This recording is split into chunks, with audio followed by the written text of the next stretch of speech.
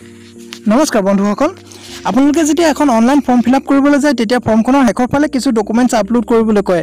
আৰু সেই ডকুমেণ্টছবিলাক যেতিয়া তাত উল্লেখ কৰা নিৰ্দিষ্ট চাইজৰ ভিতৰত নাথাকে তেতিয়া আপোনালোকে সমস্যাত ভোগে। আৰু তাৰ বাবে কিছুমানে ফৰ্মখন ফিল আপ কৰিও কেঞ্চেল কৰি দিয়ে। আৰু কিছুমানে নানান ধৰণৰ এপছ ডাউনলোড কৰি লয়। কে বি মিলাবৰ বাবে এটা এপছ পিক্সেলত যদি বিচাৰে তাৰ বাবে এটা এপছ হাইটৱেটত মিলাবৰ বাবে এটা এপছ ডাউনলোড কৰে। মই আজি দেখুৱাম যে কেনেকৈ কোনো এপছ ডাউনলোড নকৰাকৈ মোবাইলতে হওক বা কম্পিউটাৰতে হওক ফটো চাইজ মিলাব পাৰি। এই ভিডিঅ'টি আপোনালোকে চোৱাৰ পিছত মই এশ শতাংশ নিশ্চিতভাৱে ক'ব পাৰিম যে ফটো চাইজ মিলাবৰ বাবে যদি আপোনালোকে মোবাইলত এপছ ডাউনলোড কৰি থৈছিল সেইবিলাক ডিলিট কৰিব আৰু মনতে ভাৱ হ'ব যে ই ইমান দিনে এনেই এপছকেইটা মোবাইলত ৰাখি থৈছিলোঁ এই সম্পূৰ্ণ ডিটেইলছ লৈ মই পাপুৱে পুনৰ এবাৰ স্বাগতম জনাইছোঁ এটি নতুন ভিডিঅ' লৈ মোৰ ইউটিউব চেনেল টনভি টনাই অল ইন ওৱানলৈ চ' আহক পলম নকৰি ভিডিঅ'টি আৰম্ভ কৰোঁ। ফটো চাইজ মিলাবৰ বাবে প্ৰথমে আপোনালোকে ডকুমেণ্টছবোৰ মোবাইলত ফটো মাৰি লেখৰ জোখত ক্ৰপ কৰি ল'ব। তাৰ পাছত আপুনি যিকোনো এটা ব্ৰাউজাৰত যাব। মই গুগলত গৈছোঁ।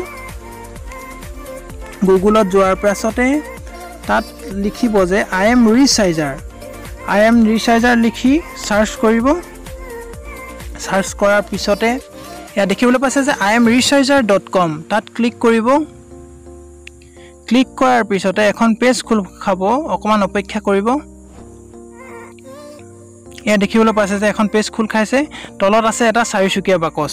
এই বাকচটোত বন্ধুসকল আপোনালোকে যিখন ডকুমেণ্টছ ৰিচাৰ্জ কৰিব সেই ডকুমেণ্টছখন ইয়াত ক্লিক কৰি এই বাকচটোৰ ভিতৰত ক্লিক কৰি সেই ডকুমেণ্টছখন চিলেক্ট কৰি ল'ব লাগিব আপোনাৰ গেলাৰীৰ পৰা। মই ক্লিক কৰি দিছোঁ। ক্লিক কৰাৰ লগে লগে আপোনাৰ গেলাৰীটো খোল খাই গৈছে। মই এখন ফটো চিলেক্ট কৰি ল'ম। এই ফটোখন ধৰক মোৰ ৰিচাৰ্জ কৰিব কৰিব লাগে। আপুনি যিখন ডকুমেণ্টছ ৰিচাৰ্জ কৰিব লাগে সেইখন চিলেক্ট কৰি ওপৰত আছে ডান বটাম এটা তাত ক্লিক কৰি দিব। ইয়াত দেখিবলৈ পাইছে এই ফটোখন ইয়াত আহি গৈছে। আৰু ওপৰতে আছে upload rotate crop and recharge and download আপুনি যিহেতু ৰিচাৰ্জ কৰিব তাত ৰিচাৰ্জ বুটামটোত ক্লিক কৰিব। সেই ৰিচাৰ্জ কৰাৰ বুটামটো ক্লিক কৰাৰ লগে লগে এই তলত দেখিবলৈ পাইছে যে এয়া ডি পি আই আপোনাৰ কিমান ডি পি আইত বিচাৰিছে? যদি ডি পি আইত বিচাৰিছে তেতিয়াহ'লে এইটো চিলেক্ট কৰক। যদি ডি পি আইত বিচৰা নাই তেনেহ'লে সেইটো থাকিবলৈ দিব।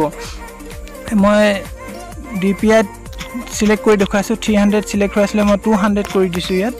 তাৰপিছতে তলত আছে pixel percent C M inch and M M তাৰ তলতে আছে আপোনাৰ হাইট ৱেইটটো আছে।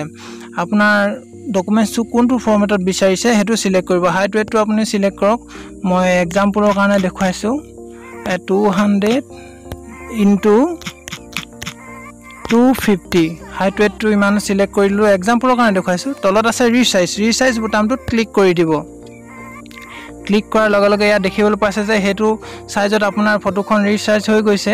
আৰু তলতে আছে যে কোনটো ফৰ্মেটত আপোনাৰ বিচাৰিছে জে পি জিত বিচাৰিছে নে জে পি জি মই জাষ্ট এটা চিলেক্ট কৰি দেখুৱাইছোঁ জে পি জি চিলেক্ট কৰি দেখুৱাইছোঁ আৰু তলত দেখিছে ফাইল চাইজ ফাইল চাইজটো আপোনাৰ কিমান চাইজত বিচাৰিছে সেইটো চিলেক্ট কৰিব।